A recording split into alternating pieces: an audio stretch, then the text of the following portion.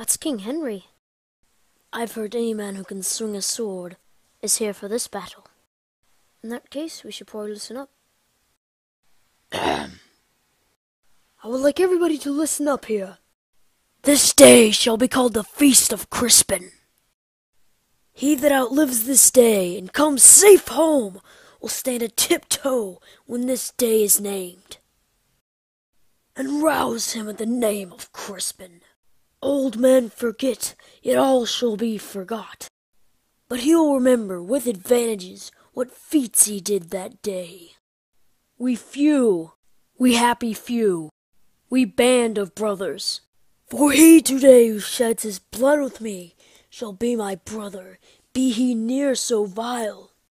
This day shall gentle his condition, and gentlemen in England now abed shall think themselves accursed they were not here, and hold their manhoods cheap while any speaks that fought with us upon St. Crispin's Day.